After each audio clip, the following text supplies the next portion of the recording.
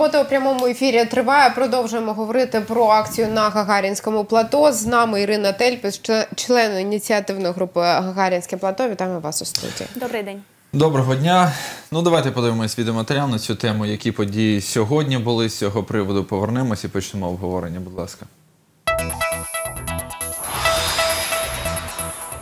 Мешканці Аркадії провели демонстрацію поряд з будмайданчиком на Гагарінському Поато 5. Вони поклали шини та запалили фаєри. Крім того, одесити повісили плакати на будівельному паркані з закликом зупинити хаотичну забудову району. За їхніми словами, на цьому місці збираються побудувати 5 високоповерхівок. При цьому жодної школи чи дитячого садочка й досі в районі немає. Люди запевняють, що якщо державний будконтроль дозволить надалі проводити роботи, вони будуть змушені самостійно блокувати будівництво. Наш протест е, відбувається від кінця літа.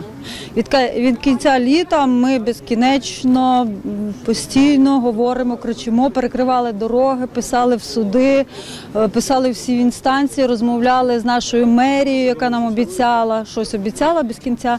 Під час акції на місці були присутні правоохоронці. Вони погрожували одеситам штрафом за запалення фаєрів. Проте поліцейські не склали на місці жодного протоколу. Нагадаю, протистояння між містянами та забудовниками на Гагарінському плато почалося ще улітку 2018 року. Тоді на Гагарінському плато 4 спиляли близько сотні дерев. Поделать, что мне, хотите. пожалуйста, Я- статью. мы, вас, пред- мы вас предупредили. Давайте, давайте вместе статью изучим сейчас, да? Мы вас предупредили. А что вы меня предупредили? Чергова акція жителів Гагарінського плато пройшла вранці 6 лютого під стінами міського управління архітектури і містобудування. Пікет тривав недовго. Мітингувальників запросили на переговори в управління, де мітингувальники заявили, що вимагають будівництво школ в їхньому кварталі. містобудівні умови, щоб там, де мала бути школа, щоб вона там і була. І ви е, мали, правда, зайнятися цим питанням, щоб зараз на Галінському плато 5 не будувалися всі висотки, а там же будувалась школа, де вона мала би бути. Зато ми і виходимо, перекриваємо дороги. Ми вам це пояснюємо, що ми категорично проти. У свою чергу, під час переговорів головний архітектор Одеси Михайло Шайденко повідомив про підготовчий проект будівництва школи на Гагарінському плато. Есть локация, которая э, определена и одобрена руководством, э, в том числе, э, под размещение именно школы. То есть это будет не частная школа, это будет коммунальный объект. Коммунальный объект, то есть пока что касательно количества мест идут расчеты, то есть предварительно речь шла о 500, но территория, которая предполагается для размещения этого объекта, нормативно м, позволяет э, большую вместительность. Представники ініціативної групи відзначили, що наступна зустріч з головним архітектором відбудеться на наступному тижні.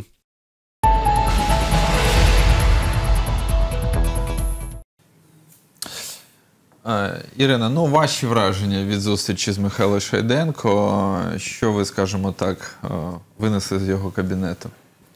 А, Ну, первое, что мы получили, это мы получили копии документов, потому что господин Шайденко, мы с ним видимся не раз, мы с ним виделись еще в начале августа, после нашего первого митинга.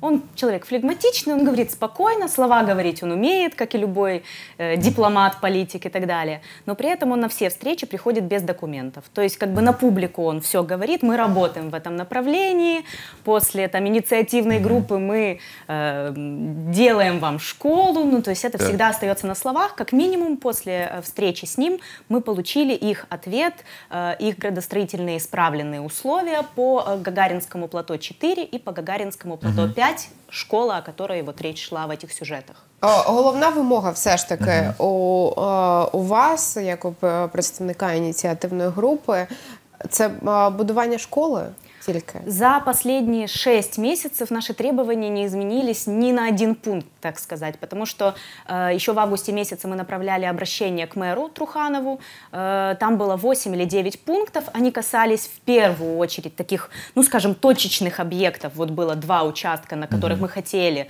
садик и школу, потому что есть основания для того, чтобы там были и садик, и школа, и там сквер какой-то небольшой, Э, в детальном плане территорий э, это все есть, то есть, пожалуйста, Так. сделайте то, что вы приняли ранее. Поэтому мы так остро ухватились за эту проблему. Но на Гагаринском плато существует для кого-то это менее важные вопросы, для кого-то более, у каждого свои приоритеты. И транспортная проблема, потому что это ну, прямая зависимость. Чем больше Так, э, так. строится э, высоток, тем меньше проходимость дороги. То есть дорога не увеличивается, ее там увеличивать некуда. Неможливо. Хотя можно что-то сделать, но стройки продолжаются, при этом проблема не решается. Когда стройки все будут закончены, придомовые территории у новостроек Не никто не заберет. Это второй острый момент. Но помимо всего, э, на территории плато э, стоит проблема также и инженерных сетей, потому что 40 домов уже строится, это порядка 15 домов уже построено, 15, ну, в процессе, порядка 40 домов, э, когда я говорю 40 домов, это, вы понимаете, меньше 25 этажей там не будет строиться. Ну, пока такая политика, мы надеемся, она ис- исправится. И, соответственно, с таким количеством населения инженерные э, сети, это канализация и водоснабжение, тоже должно реконструироваться. Это не происходит. То есть представьте себе, Этим летом мы часто это видели, кто-то Так. обращал внимание, кто-то Так. нет. В курортный сезон генуэзская просто плавает, извините, в Так. продуктах отхода.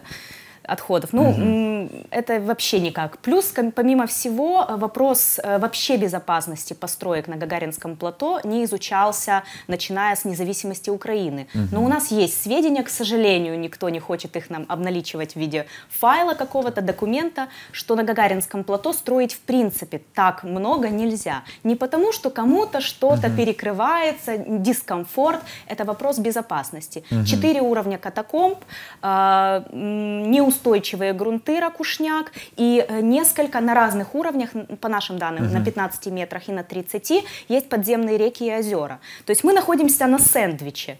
Как только начинают вбиваться сваи с такой густотой, я не говорю, что на плато нельзя строить вообще. Мы прекрасно понимаем, что территории бывших санаториев, это очень уже давно, они постепенно убиваются с целью застроить высотками, но застраивать нужно грамотно. Выполняйте хотя бы старые ДБН. Это эм, по инсоляции, по расстоянию между домами, по плотности населения. Сейчас даже старым строительным нормам э, строение не соответствуют. Я уже молчу про новые. По новым нормам здания выше 16 этажей должны занимать только 25% территорий. То есть 25 это дом, а э, 75% территории должна быть придомовая. Деревья, расстояние между домами, это все было бы соблюдено. Сейчас это не соблюдается. Якщо ми правильно розуміємо, якщо з'являться всі ці дома, які, ну скажімо так, планують е, побудувати, то загроза виникає дуже велика, що може там Так и з- есть. То есть трещины, которые сейчас появляются в домах, это как бы не секрет у всех э, жителей домов, они есть. На них пока что не особо обращают внимание.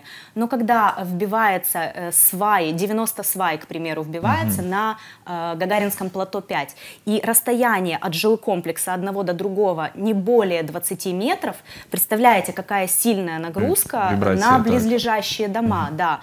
Плюс, если, а, ну, скажем, какие-то происходят э, движения грунтов возле одного дома, страдают все остальные, и вот жители Гага- э, Гагарин Плаза, рядом э, жилком, двух жилкомплексов, говорят, что у них дом, у них есть флагшток небольшой, который показывает, как движется дом левее, правее. Не под землю уходит, а вот такие, как бы горизонтальные перемещения. До метра, вот во время того, как были э, дожди, были, ну, вот, вот эти вот, э, скажем, большие дожди, э, отходил дом на метр. То есть у нас подвижные грунты. Это очень опасно. Долучаємо до розмови депутата Одеської міської ради Ольгу Квасницьку. Ольга, вітаємо вас. Доброго дня. Ну, ви знайомі з проблемою, звичайно, розумієте, що там відбувається. Розуміємо, що тенденція по е, зменшенню кількості новобудов, які там планують з'явитися, ну її немає. Тобто там все нормально, все будується. Ну наскільки нормально, це інше вже питання. Ви як депутат е, приймали е, е, якісь там, я- не знаю, рішення щодо забудови чи унеможливлення забудови цієї території, взагалі якої позиції дотримуєтесь? Ну, самопоміч завжди відстоює позицію, що забудова в місті повинна бути виваженою і в інтересах громади. І я завжди заявляла і заявляю, що містобудівна політика в нашому місті є руйнівною на сьогоднішній день. Як депутат Одеської міської ради, звичайно, я підтримувала всіма своїми інструментаріями, які надає мені закон жителів Гагаринського плату. І на сьогоднішній день е, були спрямовані мої звернення до Державної архітектурно-будівельної інспекції. Е, Звернення були направлені і в адресу управління архітектури і містобудування Одеської міської ради. І ряд звернень були направлені вже до центральних органів влади, до державних інституцій. Це ДАБІ України, це безпосередньо в комітет Верховної Ради по будівництву. Це безпосередньо до генерального прокурора е, з проханням і з вимогою, в принципі, розпочати кримінальні провадження по низці схем, які діють в нашому місті, е, і відносно тих чиновників, які порушують закон. Але на жаль, відповіді ще не прийшло, тому не можу зараз чому і не виставляю да інформацію, бо не розумію, який буде хід далі справи.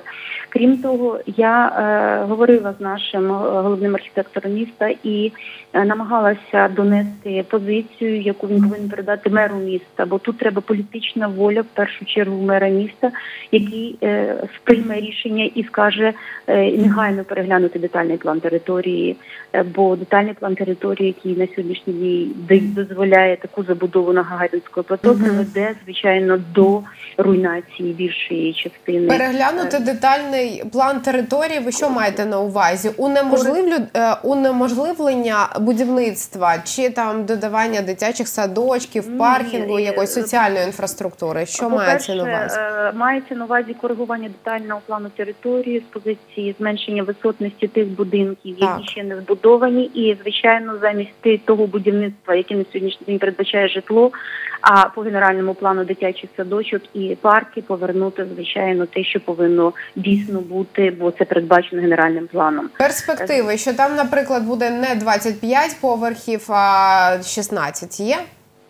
Е, Ви знаєте, навіть немає такої перспективи, бо до сьогоднішнього дня ніхто не сів за круглий стіл переговорів і не говорить про те, що детальний план території буде переглянуто, як то було прийнято в принципі рішення в 16-му році про необхідність його перегляду і коригування. Але бачите, сьогодні 19-й рік ніхто його не відкоригував. Таким чином ми розуміємо, що недостатньо політичної волі в нашому місті для того, щоб сідати і коригувати. В зв'язку з цим і з'являються судові спори. На жаль, е, ми вимушені йти до суду, але е, не впевнені, що рішення будуть справедливі, бо забудовник завжди з грошима і завжди лобіють виключно свої інтереси, а не інтереси більшості.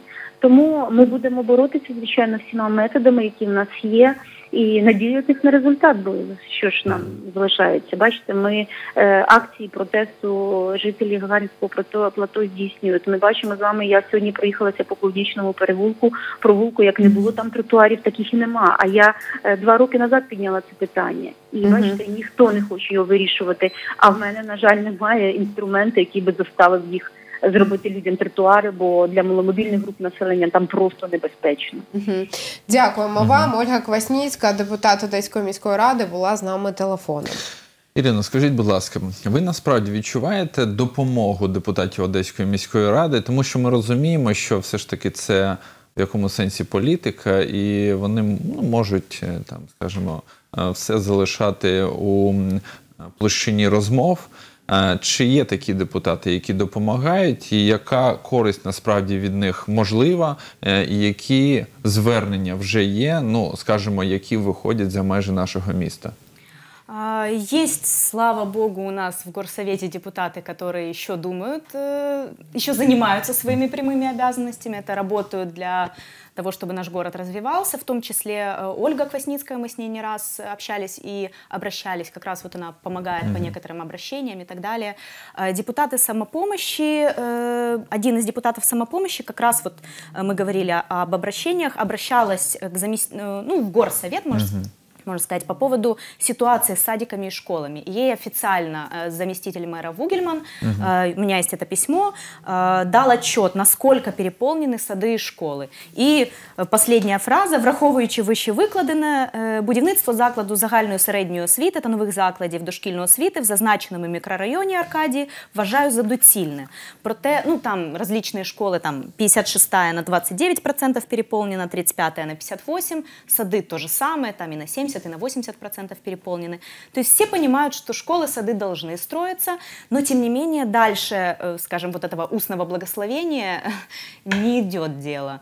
Поэтому, ну, мы были на заседаниях горсовета, там большинство доверяет делам, и несмотря на наши обращения к депутатам, к главам всех фракций, к примеру, э, на сессии горсовета в сентябре мы просили депутатов всех фракций поддержать э, нашу просьбу о разорвании договоров аренды на Гагаринском плато 4 и 5. Это в основном те, э, м, там, там, где сейчас противостояние. Депутат э, нашего округа Светлана Сауленко, мы на нее полагали большие надежды. Тем не менее, она упростила наше обращение на просто прошу рассмотреть э, размещение школы, садика вообще на территории плато. И да, действительно, на словах выделили где-то там полтора гектара земли, которая юридически никак еще не оформлена под садик-школу. Діти будуть Ну, на словах ходити в На перший, словах другий, третій 500 клас. человек, да, где-то А, там десь будет. е, 500 е, дітей потребує. Предварительно полтора гектара земли сможет, э, ну скажем, Э, содержать 500 человек. так, але Необходимость кількість- порядка 5 тысяч сейчас э, для... 5 тисяч дітей Да. потребують дітсадка та школи е, То есть у цьому масиві. Всего на данный момент уже в существующих домах, с учетом всех квартир, это 37 домов, в которых э, 11,5 тысяч квартир. Это порядка 20 тысяч человек, если все заселятся.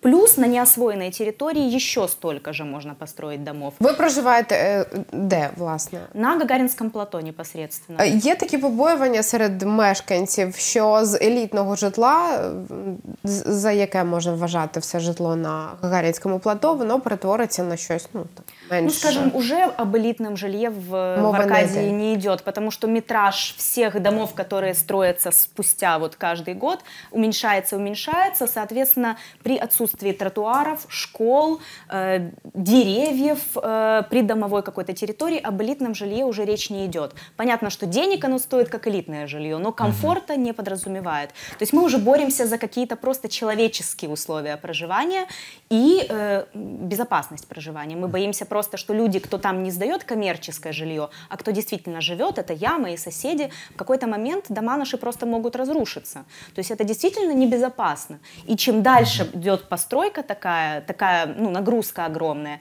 тем больше сама э, ну, техногенная катастрофа. безо- ну, я Это так. боюсь этого уже, не столько комфорта. Е, проживання. Ну, щодо планів наостанок, що ви плануєте в найближчий час і, можливо, чого очікуєте?